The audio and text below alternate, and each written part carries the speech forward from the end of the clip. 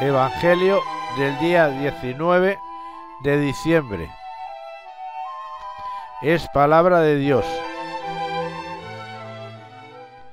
Una vez que Zacarías oficiaba delante de Dios con el grupo de su turno, según el ritual de los sacerdotes, le tocó a él entrar en el santuario del Señor a ofrecer el incienso. La muchedumbre del pueblo estaba fuera rezando durante la ofrenda del incienso. Y se le acercó el ángel del Señor, de pie a la derecha del altar del incienso. Al verlo, Zacarías se sobresaltó y quedó sobrecogido del temor.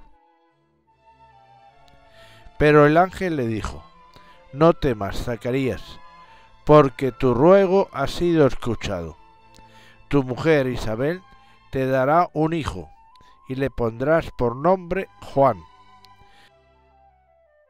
Te llenarás de alegría, y muchos se alegrarán de su nacimiento, pues será grande a los ojos del Señor.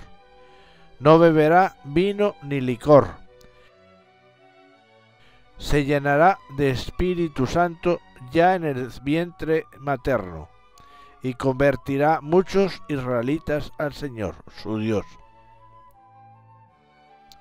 Irá delante del Señor con el espíritu y poder de Elías, para convertir los corazones de los padres hacia los hijos, y a los desobedientes a la sensatez de los justos, preparando para el Señor un pueblo bien dispuesto.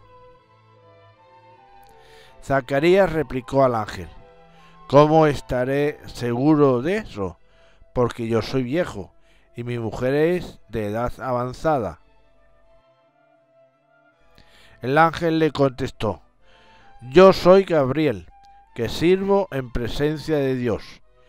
He sido enviado a hablarte para darte esta buena noticia.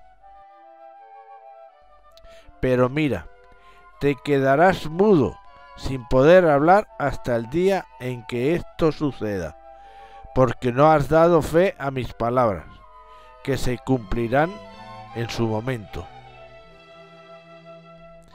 Días después concibió Isabel, su mujer. Es palabra de Dios.